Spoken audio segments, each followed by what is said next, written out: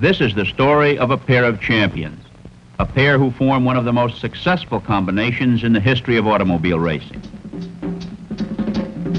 Mark Donohue, a brilliant young engineer, does the driving, while Roger Penske, a retired driving great, manages the team from the sidelines.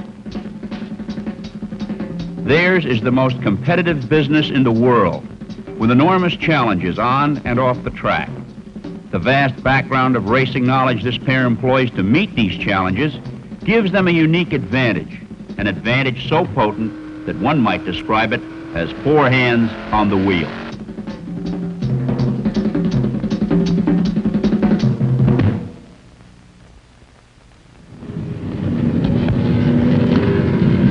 The 1969 24 Hours of Daytona, a race for the world's fastest prototypes and sports cars, a classic battleground for the Penske Donohue racing team. Mark Donohue at the wheel of a Lola Chevrolet, decked out in the vivid blue colors of the Penske stable, challenges for the lead in the opening laps, while the boss, Roger Penske, controls the strategy from the pits. A race lasting 24 hours takes more than raw speed to win, and it is Penske's job to establish a pace for his driver that will keep him in contention without breaking the car and to direct the car's periodic pit stops for gasoline and tires.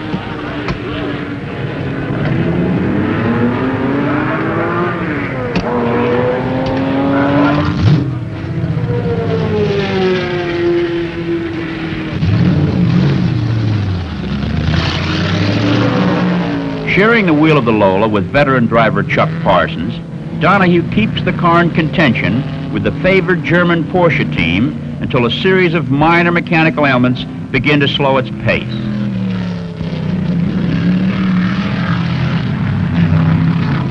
As night falls over the vast Daytona International Speedway, the Penske Donohue entry seems to be floundering. It is their first outing with the Lola, a car with a poor record in endurance racing, the debut appears doomed to failure.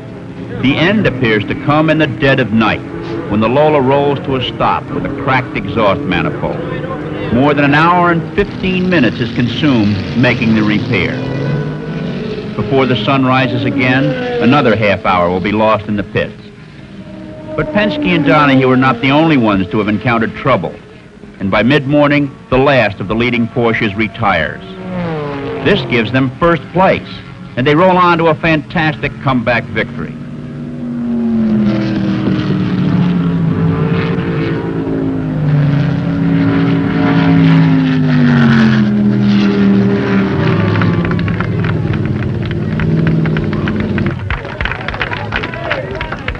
Some will call their win lucky.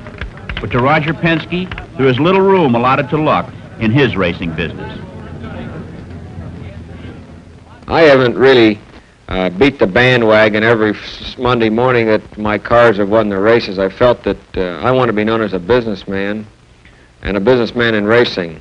He can ask the, the impossible sometimes, and we can explain why it is impossible, but a lot of times uh, uh, what he does ask, you know, is, is a pretty good idea after all. You can't be competitive and you can't win unless you have the best car. But you don't do it by just saying you're going to do it. You do it by, you know, a lot of hard work. And the trouble is you work hard for a long period of time and you don't really know whether you're going to make it or not until the first race. And after that, it's too late. I found out that coming in second and coming in third is not what your sponsors want. I learned this a long time ago uh, uh, from a fellow that said, Roger, I'm not interested in the excuses why you didn't win. I want to know how we can win the next one, and this is really what we work by. And I think we get a lot done for the amount of money we have invested and for the amount of, of uh, people that we have working here. I think racing is a business. I feel it's probably one of the greatest uh, things to use as far as taking a product and showing what can be done with it and then bring it back into regular life to be sold over the counter. Roger really runs the team. I don't run it. He, you know, calls the, the overall shots. 1968 was a milestone year for Roger Penske and Mark Donohue. They entered 28 major races and won 16. With their victories came championships in two of North America's most important racing series. The Trans-American Sedan title went to the Penske Donohue Camaro with incredible ease. In 13 races, Donohue won 10 times, despite fierce competition from cars sponsored by Ford and American Motors. The team's first Trans Am triumph came in the Sebring 12-hour endurance race, where Donohue teamed with Canadian Craig Fisher. Exotic sports cars usually dominate Sebring, but the pair quickly challenged the leaders with their boxy blue sedan. In what has become a trademark of the Penske-Donohue racing style, Sebring was the scene of perfectly organized pit work, a time-saving device that helped them to win a class victory and third overall in the standings, the highest finish for an American-built sedan in the 18-year history of the race. Rapid pit work gave them an edge at other tracks, too. Here, at Bridgehampton, New York, gasoline is added and Donohue is sent on his way barely before the Camaro's wheels have stopped turning. But if they were quick in the pits, they were quicker on the track. At the Mid-Ohio Trans Am, for example, Donohue arrived late and was forced to start at the back of the field. But within 10 laps, he had taken the lead from a pack of determined Mustang and Javelin drivers. And at the finish, he had a full lap lead on his nearest competitor. An effort typical of the giant edge Penske and Donohue enjoyed for most of the season. When he wasn't campaigning his Trans Am Camaro, Donohue could be found belted behind the wheel of Penske's brutally powerful McLaren Chevy sports racing car, a low-slung 600 horsepower Group 7 machine that is one of the fastest racing vehicles in the world. The Penske Donohue McLaren dominated the nine-race United States Road Racing Championship despite stubborn opposition. After mechanical trouble sidelined them in the opening event, Donohue bounced back to win the next two races. Despite another pair of wins at midseason, rivals Skip Scott and Chuck Parsons kept the championship in doubt until the final race of the series at Mid-Ohio. There, Mark led from start to finish to win his fifth event of the series and the title. With a pair of championships sewed up, Penske and Donohue set out to beat the finest road racing drivers in the world in the rugged six-race struggle for the Canadian-American Challenge Cup. The series opened under rainy skies at Elkhart Lake, Wisconsin, with the orange McLarens of Denis Hulme and Bruce McLaren leading the pack. Donohue spun on the opening lap and spent the remainder of the race trying to regain lost ground. At the finish, he had struggled back to third place to stay in the title race. The weather was clear at Bridgehampton, Long Island, and Donohue was at the top of his game. After engaging in a long duel with Hulme, McLaren, and the wing chaparral of Jim Hall, Mark outlasted his rivals and drove to a convincing victory. Third place at Edmonton, Alberta, and second at Riverside placed the team in an excellent position to win the championship in the final race of the series at Las Vegas, Nevada. But it was not to be. At the last agonizing moment, their engine refused to start and they were forced to settle for a third place in the final standings, a finish that prompted Donohue to lament. We uh, came and we saw and we lost. Despite their Can-Am disappointment, 1968 brought extraordinary success. In addition to their victories, they proved to the racing world that wherever they chose to race, they possessed the power to win. And in racing, there is no other measure of excellence.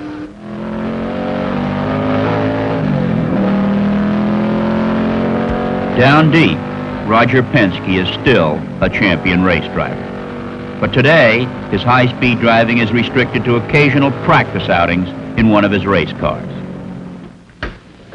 At age 32, he is in his fifth year of retirement from competition and operates a Philadelphia business network that includes a large Chevrolet dealership in addition to his racing team.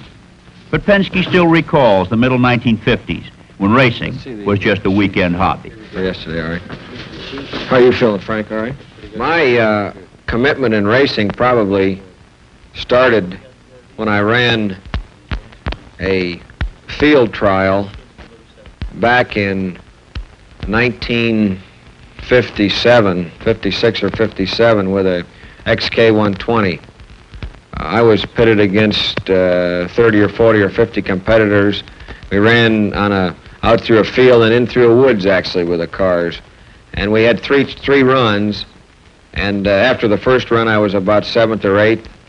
Uh, I didn't know the course very well, and I went back out and walked around it and looked at it. And then my second run, I think I was in second spot. And on the third run, I really tried to see if I could win this particular event, and I did. And at that point, I realized that uh, taking all things into consideration with a good car, we were able to, I was able to win. While still an undergraduate at Lehigh University, Penske began racing production sports cars in amateur road races. He was a winner practically from the start and quickly sought out faster, more challenging brands of sports car competition. I purchased Bob Holbert's Porsche RS from him to campaign the following season. But I ran the uh, Porsche and then was uh, able to get into an RSK and then go to Sebring with Bob. This is kind of the, the way we started out. In 1961, Penske teamed with veteran Bob Holbert at Sebring. Driving a Porsche, the pair finished sixth and won the Index of Performance trophy. This boosted Penske into big-time sports car racing, where he polished his skill in Porsches, Maseratis, and Coopers, and learned some of the realities of the racing business. I remember when I was first started, when I was racing in college, uh, at the 10th of the month, my wife and I didn't have any money to buy any more food, and I had to go out and start working, and that's about what you do in racing. As your racing program increases and escalates, you have to get in with bigger sponsors and, and spend more time and, and get more involved.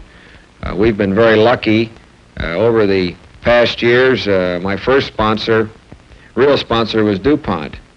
It was in 1962 when Penske shook the racing establishment to its roots.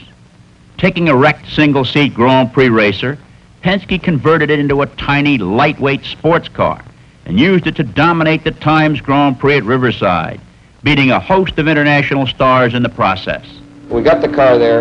It never turned a wheel, and the fastest time, I think, was 135.6.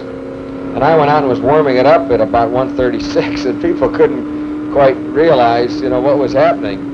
And before you knew it, in a matter of nine or ten laps, I had broken the qualification mark set by Bruce or Dan at that particular point went on to sit on the pole. And I, I ran a very easy race, again trying to finish, and it was a great thrill, of course. Uh, we won the national championship with it the next year. Then it was sold to Bruce McLaren, and he put an Oldsmobile engine in it and you know, dusted not only uh, the foreign competition, but blew Hall and myself off with the Chaparrals with the same cars. In 1964, Penske joined with Texas designer driver Jim Hall to campaign the now legendary Chaparral sports racing cars. At the time, the most successful automobiles of their type in the world. In addition to compiling an excellent record for the Texas team, Penske used his time in the Chaparrals to gain valuable insight about the workings of a major racing operation, experience that would prove invaluable in the years to come. Well, this was a great thing for me because I learned quite a bit about vehicle dynamics and some of the inner workings of a good racing uh, operation. And of course, uh, Jim was capable at that point of probably producing the best racing car, which we can call the unfair advantage. And I felt that uh, if I'm going to play, I might as well play on a good team. During this period, Penske began to drive Chevrolet products almost exclusively, splitting his time between the Chaparral Chevys and the lightweight Grand Sport Corvettes, which he drove at Sebring and in the Road America 500 at Elkhart Lake, Wisconsin. But it was to be with the Chaparrals that Penske would score his final high grades as a racing driver. And I got my opportunity. Of course, he hurt himself at Mosport, and I drove in the Chaparral at Riverside and Monterey in uh, 64, and then again at Nassau, and had the best car and the number one car. I think this was uh, uh, very good for my uh, career, and also I learned quite a bit working with Hall.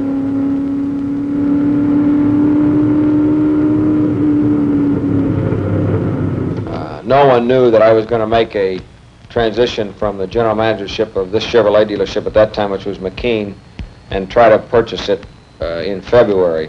But I had certain business commitments which I felt in the long run would be better for me than continue to race. So I had said that Nassau would be the last set of races. I was fortunate to do well in the Corvette.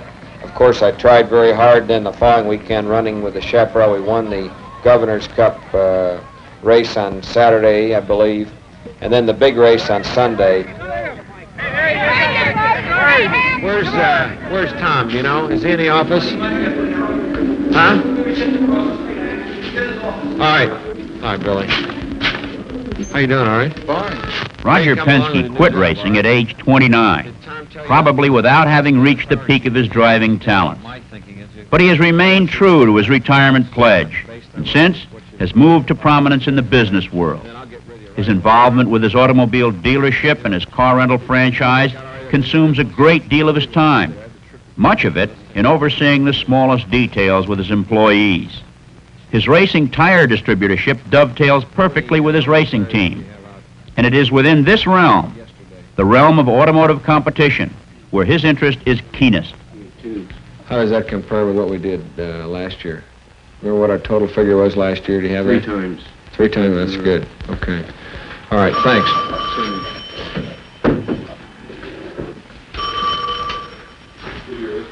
Here's what.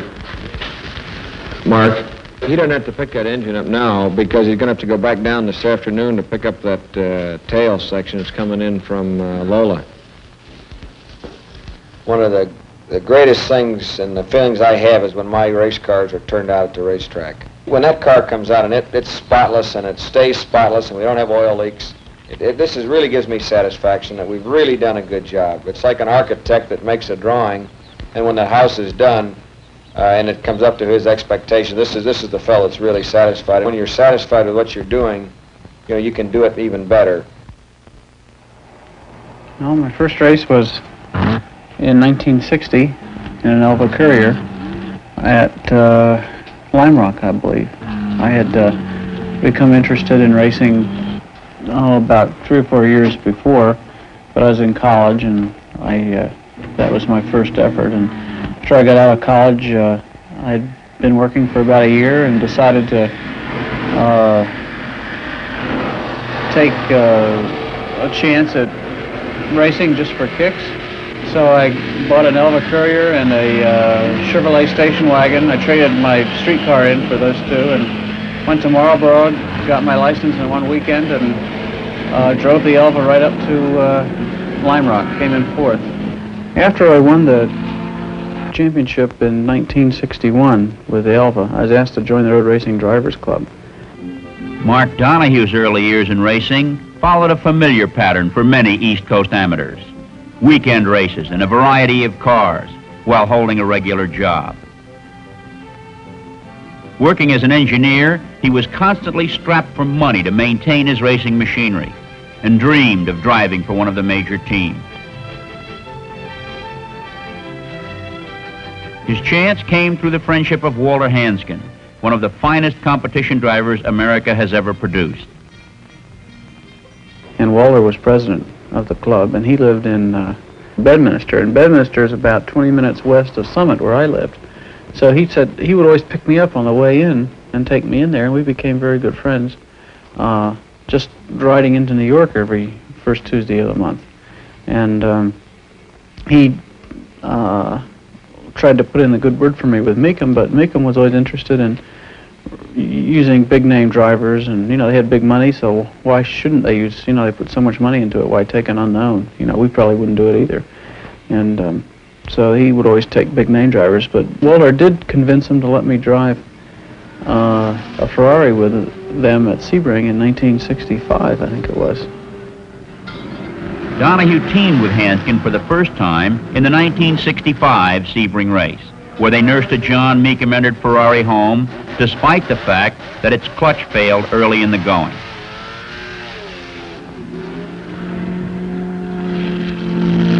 Donohue drove well in his first crack at the big time, and it brought him another ride with Hansgen, this time in a Lola Xerox Special at Elkhart Lake. Hansgen was endowed with a unique ability to teach, and Donohue was a brilliant student. So brilliant that Hansgen convinced a reluctant John Holman to give him a place on the Ford factory team in the 1966 Daytona Continental. So with all that behind, we arrived down there, and uh, Walter introduces me to John, and um, John said, he said, have you ever driven at 200 miles an hour? And I said, no. And he said, have you ever driven on the high banks of Daytona? And I said, no. And he said, turned to Walter, and he said, well, he said, we better find somebody else. I felt about an inch high. But um, Walter talked him into letting me try it out in practice. You could see the mechanics in their eyes, you know, that they did, they were doing all this work, and then some amateur uh, uh, driver was going to come down and, you know, probably either not go very fast or destroy all their efforts. The Ford team's fears were unfounded.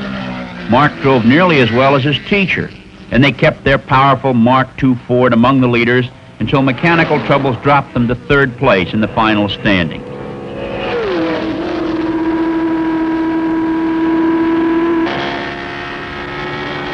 His efforts at Daytona brought him another Ford ride with Hansgen at Sebring a month later. Again, the pair drove beautifully, finishing a solid third. Shortly thereafter, Mark was assigned to the Ford Le Mans team with Hansgen, but it was not to be. Death was to cruelly destroy this unique friendship on a rain-swept curve at Le Mans, France.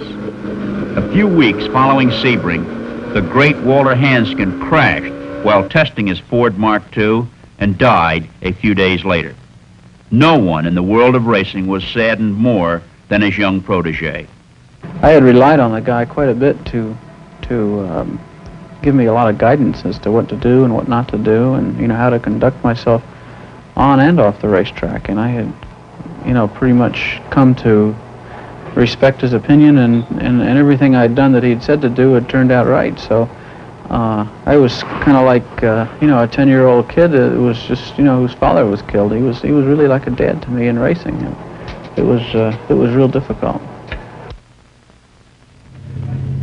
Donohue continued to race despite the loss of his friend.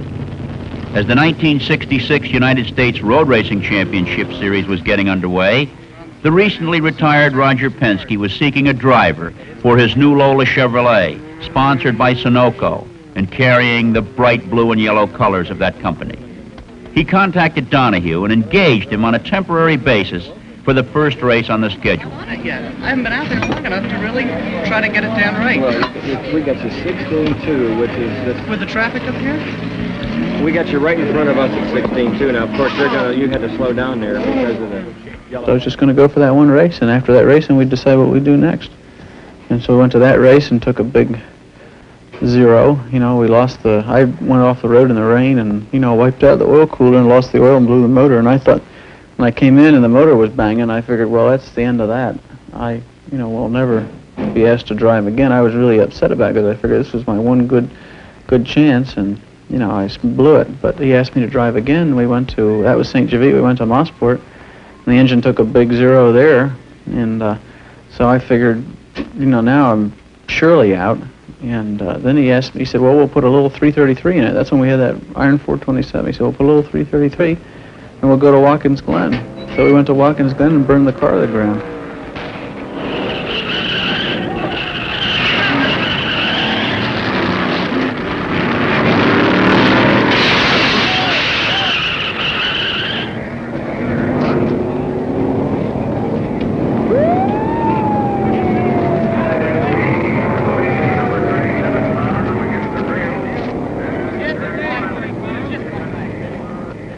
Then that Sunoco was going to pull out and we would be history.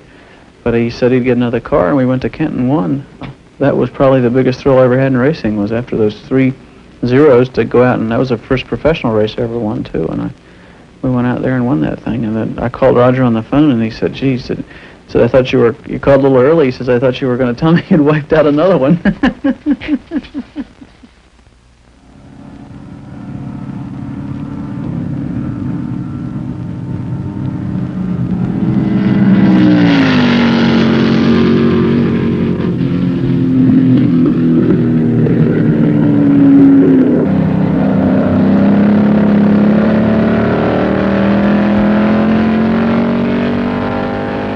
Sebring, Florida, several weeks before the 1969 12-hour race. Donohue shakes down the Daytona-winning Lola Coupe during a special practice session while the boss keeps track of things at an improvised pit area in a remote corner of the giant track. 49, uh, 49 8.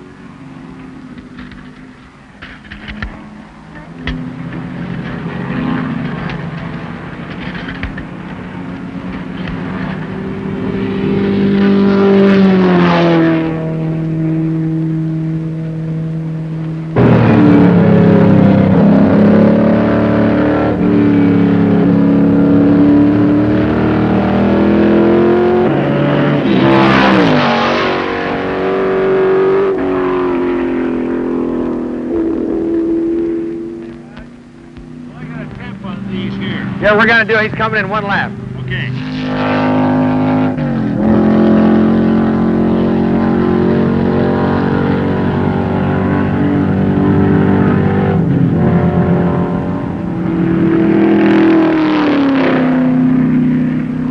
I'm gonna stop him right here then for the, these are the, these are those rains. These, Yeah. those are, that's good to know that those Yeah. things work like that. You know, you can run them a while. Yeah. Did we have any skid on them when you went out? Well, they'd run yesterday. Those aren't, those aren't, uh, those are wet tires you got on there now. Yeah. No, Yeah, intermediate. Yeah, those ones he's running. yeah, the intermediates, yeah. I What tires he's running. Oh, well, I intermediate, I call them rains, yeah, they're. Oh, we'll stop him right in here then. Good. Move that hay bale a little bit, then he can.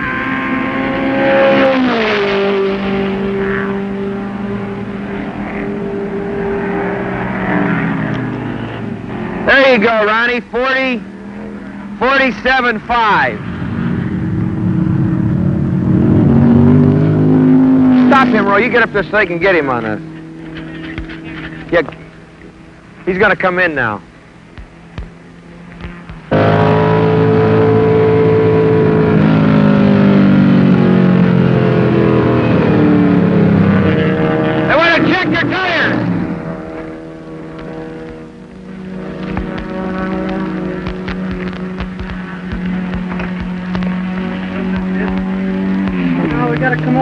In the front a little bit now. 47, 4 that was. What's the, what is the, I don't remember what good times are. The qu- qu- last year's Siffert, they qualified 49 something. They're not, the Porsches aren't running any quicker than you are. You got the, you don't have good tires on either. Is, is that the only place there's water? Well, it's kind of grassy through the. Grips are probably. Testing is often a lonely, grueling business. There are no cheering crowds and not a dime in prize money. But like the traveling salesman, racers must know the territory. And this means hours of experimentation with tires, gear ratios, suspension settings, carburation, and a hundred other variables that mean the difference between winning and losing. Donohue and his co-driver, Californian Ronnie Bucknum, have come to Sebring with Penske to test the Lola, and if possible, to record faster practice laps than their main rivals, the fabulous German Porsche team, which is also on hand for the test session. Between each run, the car is returned to its garage, where a series of adjustments, supervised by Donohue, are made by the crew. We ran out and we put five gallons in after we ran out, you see. Mm-hmm.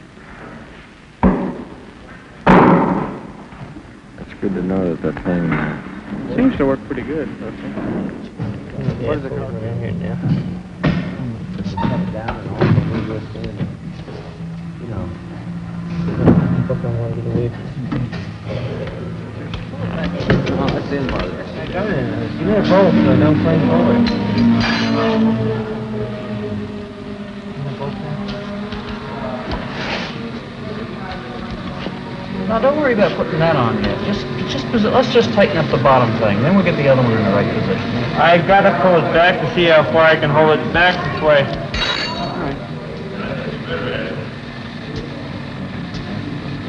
You leave that separate and then come off the top here. Oh, hard. It's got a, you know, an angle washer on it. So I mean, just a chamfer, or just a, yeah, good. I said Ronnie should build a, coming off of here, make aluminum transition piece that has a gink in it like this, once you get to the, and then, then put the hose on back over here. Huh? What do you think about that? Well, then you won't have the interference. He can, look, he can That's come, fine. I don't think, the, I don't know if the aluminum would live there. Let's put the tail on, huh? What'd you do now? We're stepping up the rear shocks, put a smaller spoiler on, put new brakes on. I'm gonna let you run nine laps. You, you don't want to run too much on the brakes.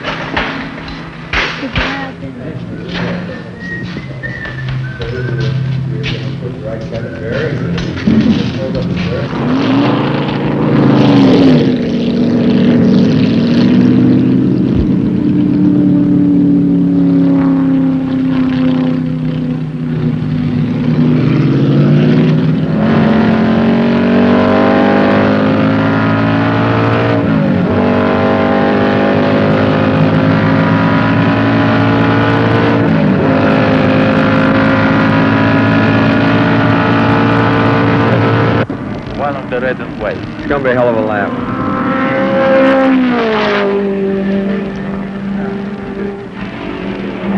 We have this 44-2.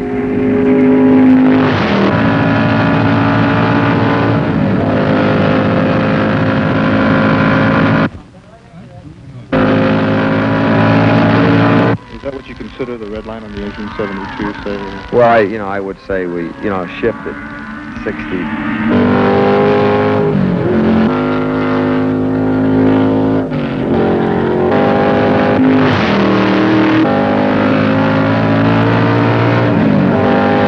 Forty-one, forty-five. You guys honest on the other side. You want me to hold this? Me hold the watch this way? Yeah, good. Don't drop them. That means they must have got it out over there in the pits, too. Hey, you were right about those tires. yeah. How, hey, and how about that engine? That's just an old Camaro engine. Don't get the temperatures? 41.4. Those Germans jumping in their cars over there. They're all up against the rail. And we figured they were all over there getting your time. Uh, you know, it's funny. It revs good um, in the lower gears, but in fourth and fifth, it's, it just won't rev. Which What's because we got the. maybe that, Huh? maybe that's not doing us any good. You Well, the maybe- only we're gonna know, the only way we're gonna know is when we come back down here. I'm gonna have Ronnie build everything up for the other one. and We're not gonna put it on. Then we're gonna try Right. both tails. Yeah. It's the only way you're gonna know. I don't think I it's want just. to do it here, have it removable, but you know, you just can't build anything and have it on a stationary. You have to find out. Well, I'd like to just take it over there and look at it, and then let him go out and run it a while, and then let's call it a day.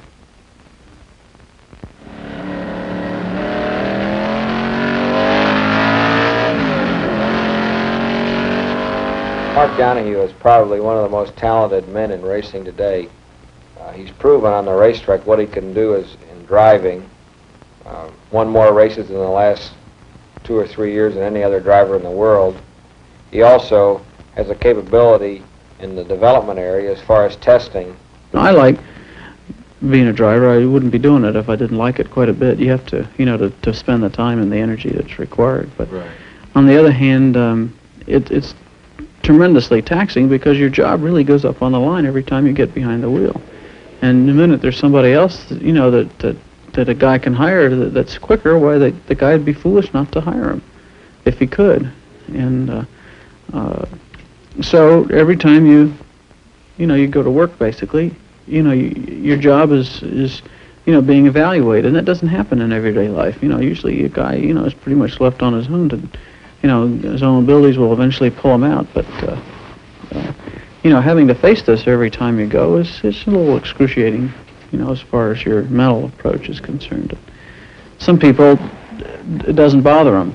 I think people like Mario Andretti and and uh, Bobby Unser perhaps, and Al Unser maybe, and you know some of those fellows who have been in racing for a long time and who are accepted experts and who can drive almost anything and uh, uh, who uh, really don't know anything else uh, except driving hard. They can uh, pretty much not worry about this sort of thing. But in my position, uh, I don't think I'm as good a driver as I as I am capable of of maybe getting the best car together.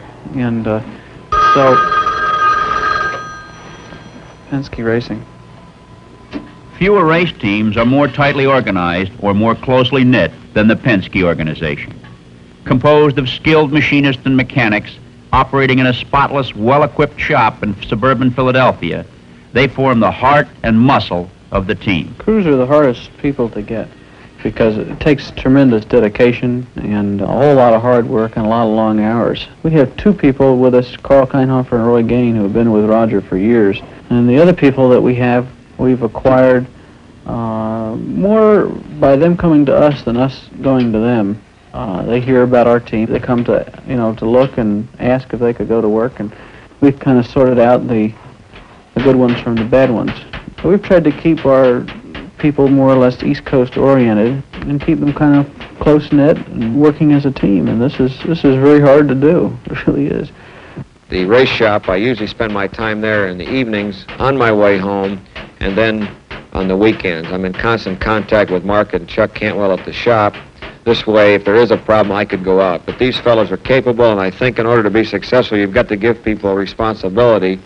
And when you do, they either produce or they don't. You find out pretty quick what you have. I don't get a dime for working down here during the week. The only thing I make is, you know, what I make racing. But the more effort I put in down here, the better race car we get, and the more successful we might be racing. I think uh, the fellows realize, you know, that I'm trying as hard as they are uh, all the time, and and I'm, I try to do that to motivate them to try hard. Uh, it's one thing to get out and say you guys work hard. It's another thing to get out and and work hard and show them that you're working hard so that they work hard. And this this is, I think, the key to motivation. I think in, in almost any business, the the uh, the key to success is, the, is if the boss works hard, everybody else does. And down the dealership, everybody works hard because there's nobody that can work harder than Roger. And I would, I don't think I could work harder than Roger, but I I am trying, and uh, uh, I hope this is tending to set an example. With good cars, good sponsors and good drivers, if we just do things we know we've done in the past and don't try to get too far out with new innovations, you know, all at once, we should, our percentage should be, I think, uh, on the winning side. Everybody in the world knows who Roger Penske is. And when Roger asks somebody to do something, whether it's, it's the guy uh, who runs the forklift truck at the airport or the fella who uh, um, uh, is the president of Goodyear Tire and Rubber, they they all listen to him because he's Roger Penske and he's, he's proven himself to be uh, somebody to be reckoned with in any kind of endeavor, whether it's racing or business or sports or whatever. And uh, uh, this is a tremendous advantage, number one. And, and number two, uh, Rogers raced himself for quite a number of years and he knows what it takes. And he realizes that, that uh, you know, the big thing everybody in racing strives for is an unfair advantage, something in their car or driver or a combination or a crew that nobody else can get and uh, he will strive, you know, in, just incessantly to try to get an unfair advantage. And Mark sets up his own cars. Uh, prior to going to a race, Mark will spend five, six, seven, eight hours on the surface plate with each one of our cars to get the suspension exactly the way he wants it. And he knows when the car gets there that it's set up the way he wants it. He knows what it has, and then he can go from there. So we work really as a pretty good team, uh, uh not only from the driving, but in coordinating our complete racing program. Without him, I think that uh, we'd never gotten this far. Turns out that no matter how emotionally hopped up you get in racing, it isn't going to make you go any faster. The only way you're going to go faster is if you have a better car. And the only way you're going to get a better car, you know, is to think about it a little bit and plan ahead and, and try to develop a better car. And so the emotional end, uh, the old stab it and stare it technique uh, is slowly dying away. I don't think you can make up for a bad car now by just standing on the gas real hard. You have to have a good car to start with. Race day at Sebring, with the fastest field in the race's long history, crouched in readiness. As the start nears, Penske runs through the team's race strategy with Donohue and his co-driver Ronnie Bucknum. The last bolt has been tightened on the Lola, now it is up to Donohue and Bucknum to drive it to victory against a field of powerful opponents. Donohue has been assigned to drive the opening stint of the race, and he knows that in order to lead, he must beat the new Italian Ferrari of Amon and Andretti, a car that has run fractionally faster in practice. The start at Sebring is patterned after the one at Le Mans, France, where the drivers sprint for their cars from the opposite side of the track. Donohue nearly jumps the gun, then charges away as the green flag drops. Once inside the Lola, he scrambles into his safety harness, flicks the ignition switch, and powers away into the frantic first lap traffic jam. The Ferrari is slow to start and leaves the pits well behind the leading Porsches and Donohue, who is in excellent position to charge for the lead. But Sebring is 12 hours long, and it is not the Penske Donohue style of racing to rocket around for a few spectacular laps and then retire with a broken car.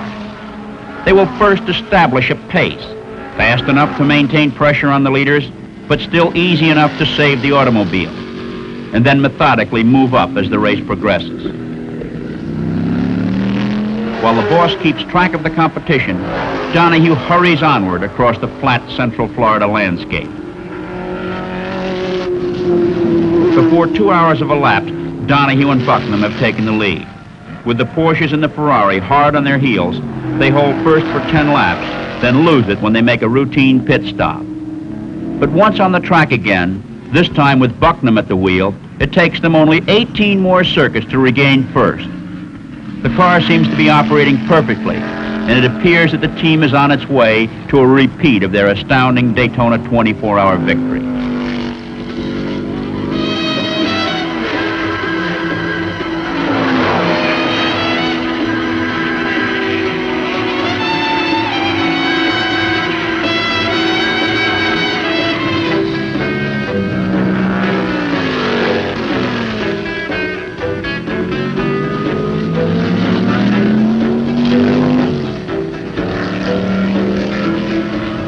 Again, it is more than rapid driving that is keeping the Lola out front.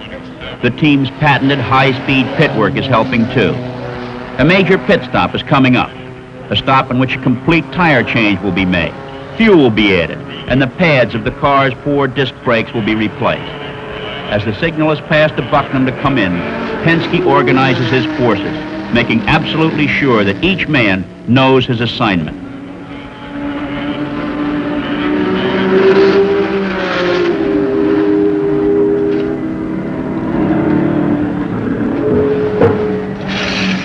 Bucknum brings the car to a halt, and the crew leaps toward it in a furious ballet of motion.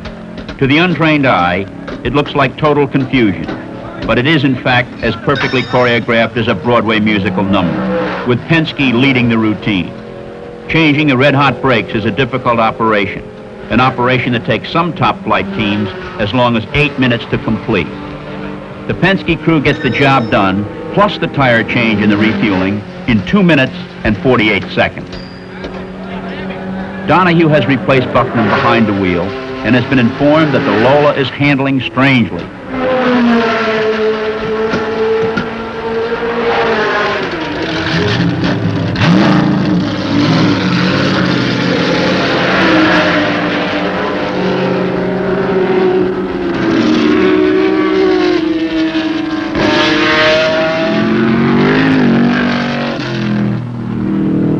Track, Mark notices the problem immediately. Something appears to have broken in the rear suspension, and he heads for the pits after only one lap. The Lola is gravely wounded. A major component in the complicated rear suspension has fractured. Hours would be consumed in making a replacement. Reluctantly, Penske withdraws the car from the race after three and a half hours. Dreams of winning two major international endurance races in a row are shattered. But their turn of bad luck is not ended. Shortly after the race, the Lola and its transporter are stolen, and over $30,000 worth of engines, tools, and spare parts are lost. The theft will force the team to scratch its plans to compete in the 24 Hours of Le Mans race in France a few months hence. Sebring was an unfortunate race for the team but Penske and Donohue waste no time brooding over it. Ahead of them lie a multitude of racing efforts, including an expanded program in Indianapolis-type cars. Donohue will also be driving toward his second straight championship in the Trans-American Sedan Series in the face of increasingly strong opposition. The expanded Canadian-American Challenge Cup Series will surely include a new, deep blue Penske car with Donohue at the helm and they'll try again at Sebring. Their commitment is complete. This is their sport, and both men are in it to stay. I've been in racing since 1956 or 57 when I fooled around with my own cars, and I'm still in it uh, 10 years. Uh, I expect to be in it as long as I have an interest. You don't um, uh, find too many 65-year-old race drivers announcing their retirement, and sooner or later you have to, you know, think about something else to do. And the longer you stay in racing, the harder, as a driver, the harder it is to find something else to do. Mark Donohue will continue to drive for me as long as he wants to. However, I think he is smart enough, I am smart enough, we feel that at some point he's not fast enough or his ability in other areas would be more helpful to us, I'm sure he will stop racing of his own accord. I'm giving him an opportunity to invest in our Chevrolet dealership here. I want him on our management team. He's just a solid race driver. I think we proved that when we went to the Rex Mays when he was on Dan Gurney's uh, tail for 100 miles. You give Mark the time to study the problem uh, and, and familiarize himself with the vehicle and also the speedway. I don't think there'll be anyone that can run as consistently as he can today, and he is still getting better.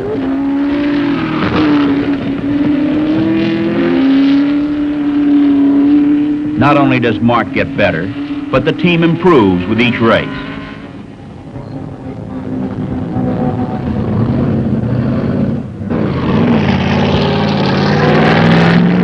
Racing is more than a sport to Roger Penske and Mark Donohue. It is a way of life that is measured only in terms of victory. They seem to have found that rare ingredient of teamwork that gives them, for all intents and purposes, four hands on the wheel.